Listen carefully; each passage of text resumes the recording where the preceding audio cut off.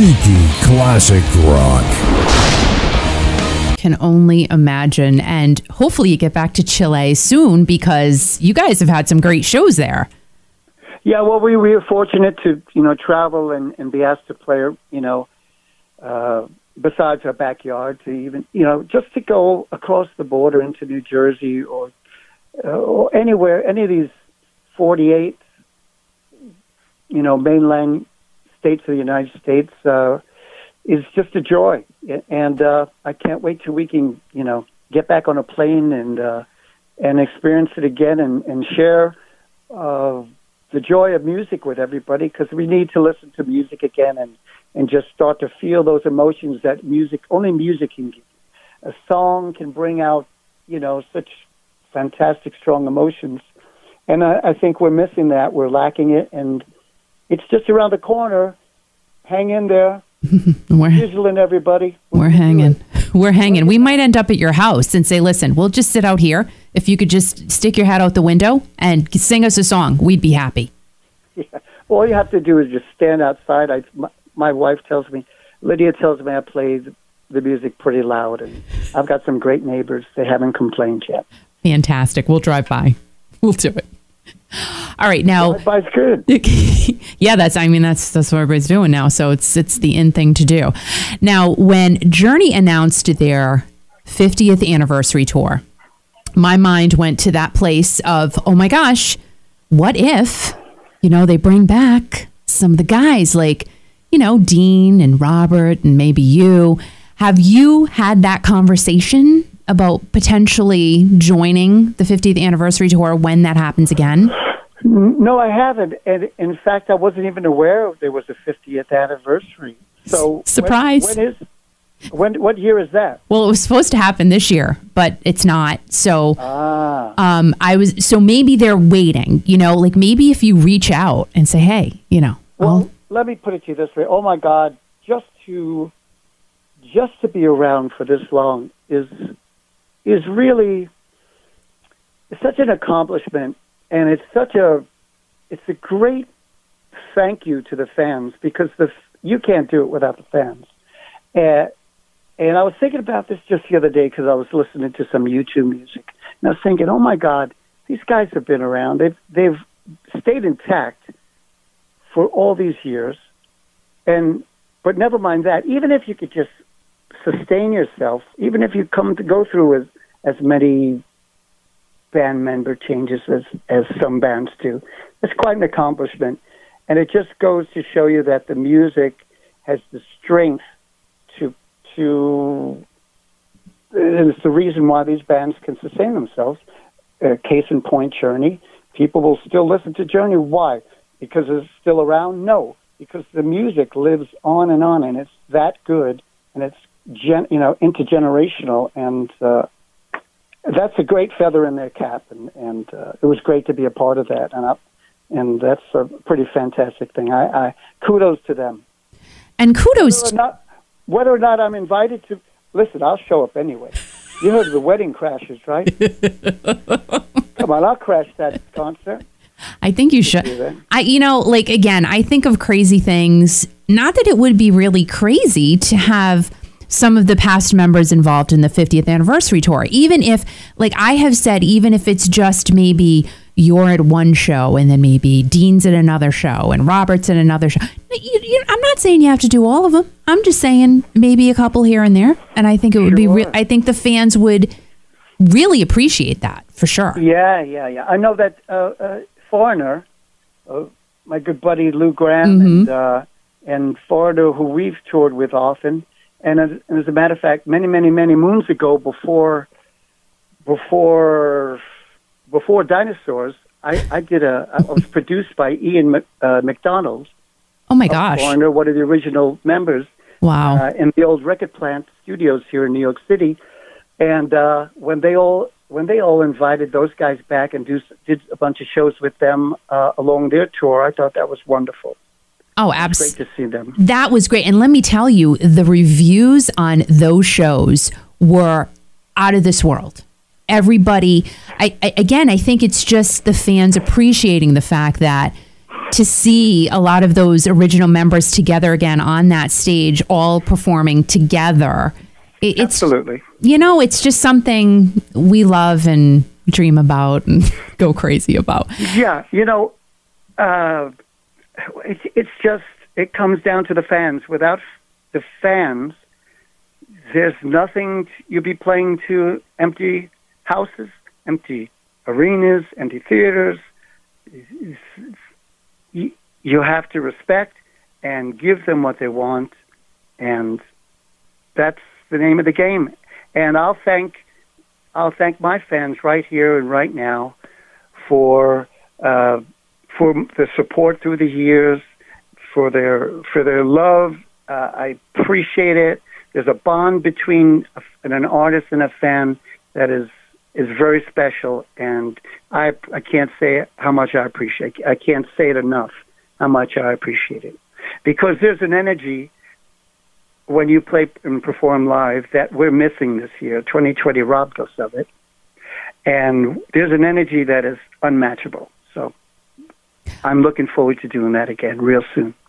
Now, you get the honor of not only doing a set list of Journey songs, but you also sprinkle your own songs in there. And, you know, like we had played Led Zeppelin before you came on.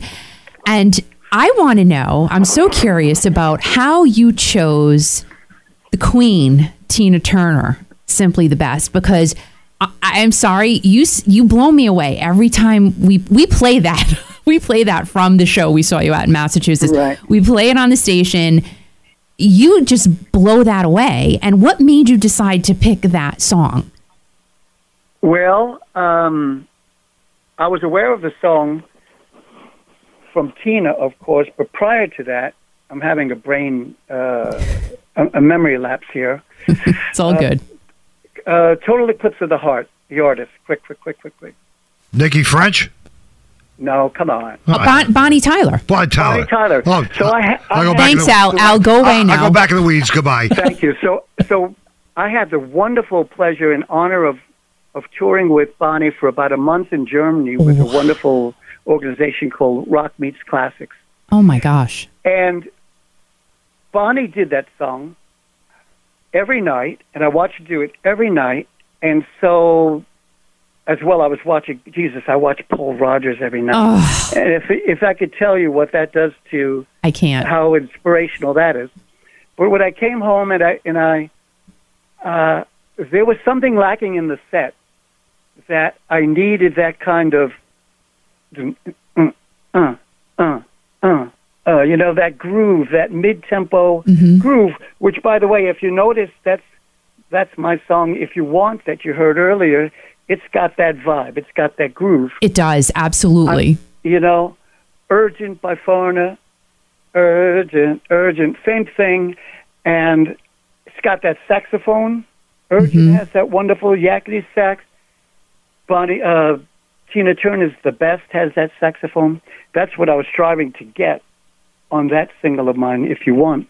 But anyway, that song, the best by Tina, is is unmatchable. She's she, what a performance and what a an arrangement. What a great record.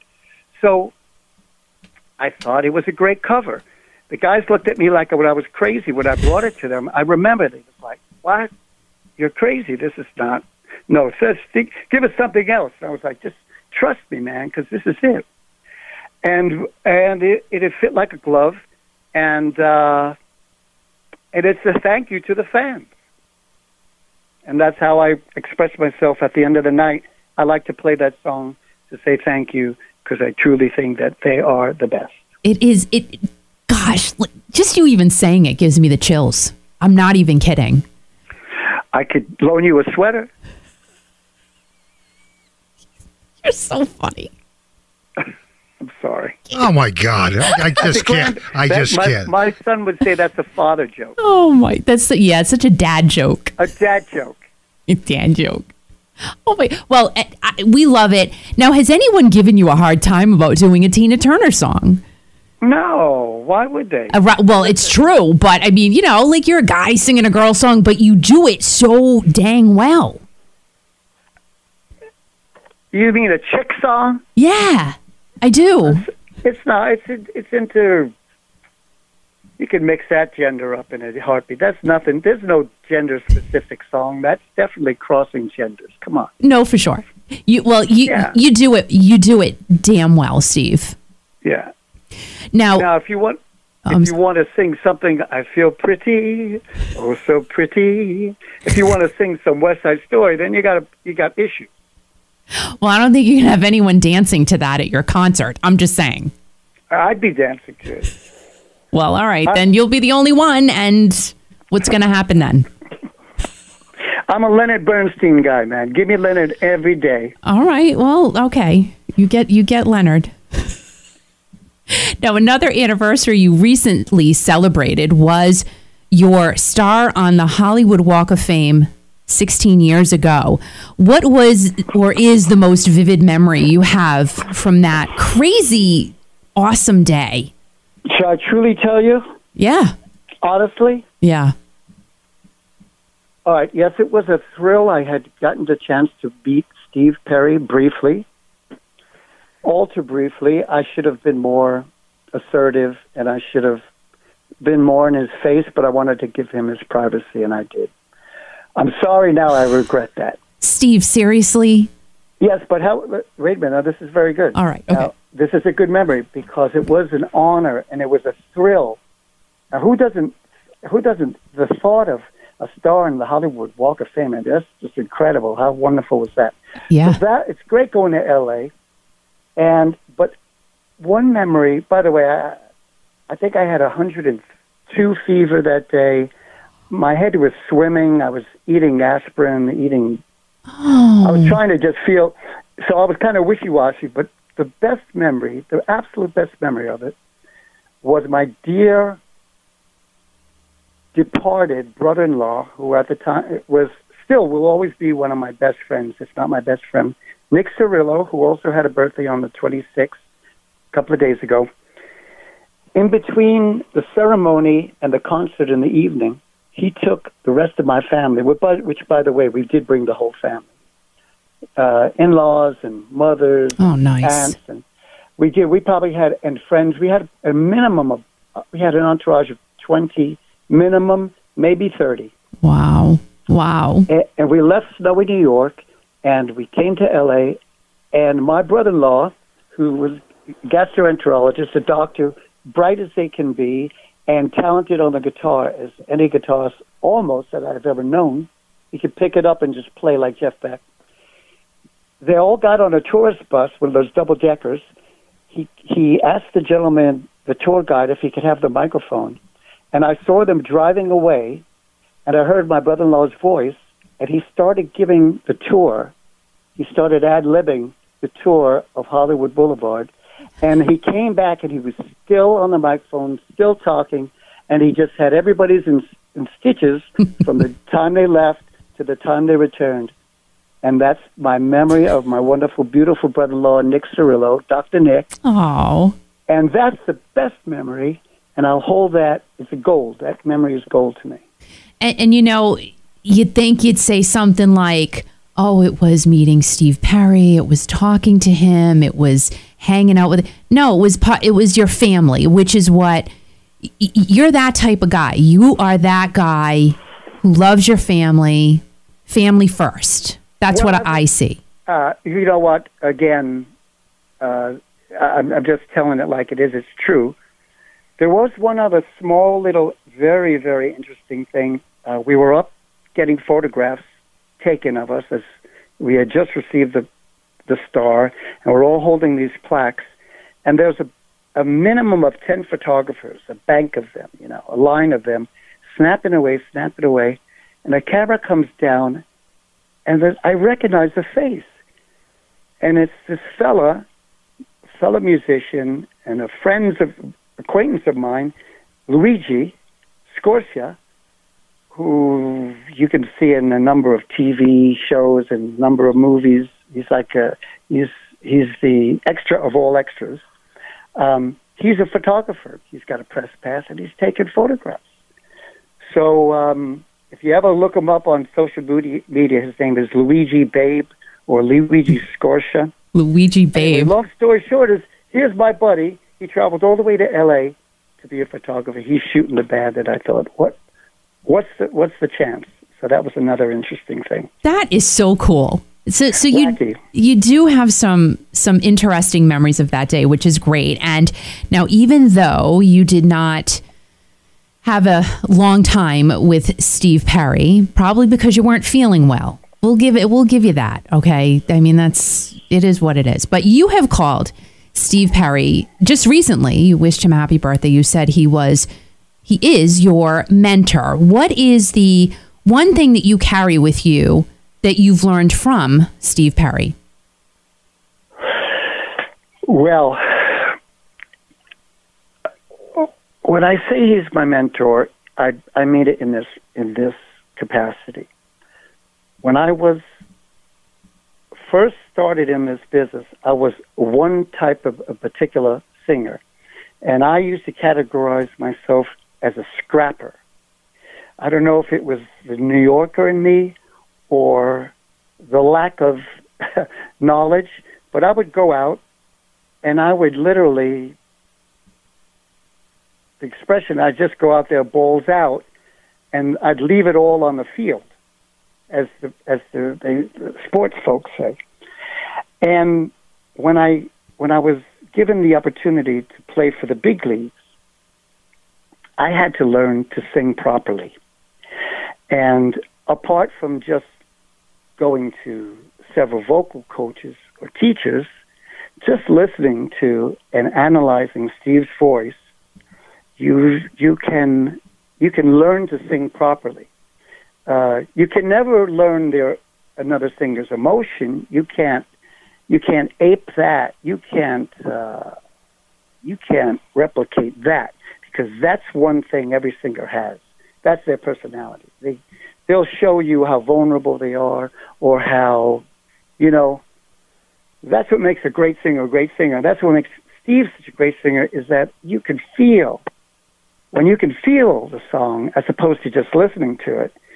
That's what you want to do. And Steve did it every time, and that's what I tried to emulate or try to learn from him, and uh, and that's a goal. To this day, you always want to you want to reach the audience. You want to you want to man. There's a there's a little little itty bitty spot in everybody's heart that uh, you know a tone of a of a of uh, or a note or, or a pitch that just turns you on. Say, oh my God, I felt that. Or he's singing to me, she's singing to me, or I feel that. Oh, he really means that. Or wow, and he's got the wow factor. So I chase the wow factor, and I learned that from Steve. And we definitely feel that from you when you are on stage. No a, question about it. I that's the greatest compliment anybody could say. I appreciate that. And I do have to just share something with you from Stephanie, your Okay. niece. Um, she just wanted to share a memory of you, but she said that her greatest memory of you is going to a New York Music Awards show where Tall Stories was nominated. She was so excited and so proud of you, and you didn't win, but how exciting it was to be nominated. And then when you sang Open Arms at her wedding, that is pretty hard to top. And then one more, I just have to. Everybody always says, What a nice guy you are. Oh, Steve Augeri, he's such a nice guy. He's so humble. He's so sweet. And your brother in law shared a really cool story with me. He said that when he first started dating your sister, he went over to the house and you were in the background playing the guitar. And he went over to you and tried to show you some things that he knew. And he said he wasn't really great on the guitar, but you were gracious enough to say, Oh, thank you very much. And you were listening to what he had to say. And then when he went over again, but you didn't know he was there, you were jamming. You were just like a virtuoso on that guitar. And that touched him because he said, You're such a humble man. And even back in the day, you were so humble to just graciously take what he was telling you that he thought he was helping you with but you oh. just took it in as you know just being kind and and not saying hey listen i already know that no thank you for sharing your information with me. So you are very loved by so many people, and you really are a humble, humble person. Well, to, to my my niece, my lovely Stephanie, and my brother-in-law, Alex, I love you both. Alex, by the way, you did show me what you showed me. Look, everybody has a little something they could share that could rub off on somebody. I don't care what level of, you know, whatever, wherever you're at and doing whatever you're doing, there's always something to learn from somebody. And I did learn from him, but probably more than whatever he showed me on the guitar. He had a record collection that I absolutely adored, and he turned me on to the Moody Blues. Oh. Uh, is there is was the record called Seventh Sojourn or something? Could that be the name of the title yes. of the album? Yeah. Oh my God, I adored that record, and to this day, I just still think of that wonderful band and the great songs on it. He had this great extension record collection, and uh, I remember that, and that and that helps mold a person. You know, that's part of my DNA. That is, aw- but again, you know, here you are being gracious, and it is so wonderful to know that you've learned from everybody. Probably, I'm sure that's touched your life. Now, a long time ago, you talked about your younger days in Brooklyn, how you performed at block parties. They were steaming hot summer nights, and how some of the paisans wanted you to play Sinatra, and you did it because you knew you didn't want to lose a foot or something. Now, you also said that people should step away from their computer and their video games. What's one thing today, if you could bring it back from yesterday, that you would take into your life and say, you know what, we should all do that today? Ooh, um, I think just listen to each other. I think I think one thing I'd love to see. Never mind the country, but the whole world. It, it's just been a a dream of mine. It's just uh, we forgot to listen. We we everybody's busy talking to each other, talking at the same time. And uh, if I may say this, I'm going to give Jonathan Cain a pat on the back. Jonathan Cain taught me how to listen. Uh, he used to slow me down because I used to be so excited. I used to be like a bull in a china closet when I'd get together with him, and I want to express myself and talk over him and interrupt him. He'd say, "Steve, hold on, wait a minute, pace yourself, just listen." And he taught me to be a better listener. And I think if everybody just stops a little bit and listens to each other, I think we'd learn a lot from each other and learn a lot more about each other. And I think the world would get along a lot better if we listen to what somebody has to say. So you can then process it, think about it, and then say, wait a while.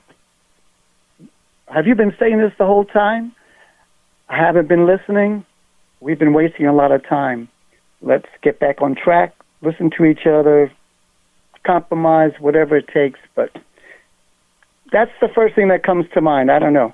You can still have your computer games and you still have your, you know, Facebooks and Twitters and this, that, and the other thing. But um, yeah, I'm still guilty of it. We're still, I'm still learning myself. Sometimes I don't listen, but I try to remember. I try to be a better listener, and I think it makes us, you know, I'm humbled by Jonathan's teaching me. Again, one of my uh, my mentors. And we're humbled by you. We appreciate everything that you do, and we cannot wait until your album comes out. And if you want, now, is there a release date for that, or are we just lucky enough to hear this right now? Uh, if you don't mind, I think what we're going to do is just prepare, finish the artwork on it, and we're going to put it out as a single. We're going to Fantastic. get the rest of the record. We have half of it mixed, and the other half is is like it's like pulling teeth, to be honest with you. So, as soon as it is ready, even if I have to release another two or three singles, that may be the case uh, before we do the entire record. But again, it will be called Seven Ways Till Sunday, and it's a special. The only gift I could possibly give to anybody is my music, and I had a lot of friends to help me along the way, and uh, I'm very excited to eventually share this with everybody. But tomorrow we have Lose Myself coming out with you and Bad Penny. We're very excited about that. That song is so great, and thank you for that. And I am so grateful that you talked to me. I, I, I don't think you understand. Like, I am so happy that you decided to do this with us tonight, and everyone is very thankful as well. It's been a crazy year for everyone. And one thing I have learned is how important that music is to everybody. And you, Steve, are a part of what is responsible for lifting us up when we're down. And I think I can speak on behalf of everyone that we thank you for giving us something to smile about. And Steve, we want you to stay strong, stay creative. And again, thank you so much for doing what you do. Kiki of Kiki.fm and my good brother Al there. Oh, Uh, I love you guys. Thank you for the invitation. Thanks to everybody out there listening. Uh, I appreciate you. I hope I didn't bend it too far. No. And uh, but it was a joy, and it was a pleasure, and it was an honor. To, uh, Steve. To share this with Steve, you can't go yet because we have a uh, play a little song here for you, and I got a couple more people who want to talk to you real quick. Can, can, can you can you hang on for a, a couple more minutes? yeah, absolutely.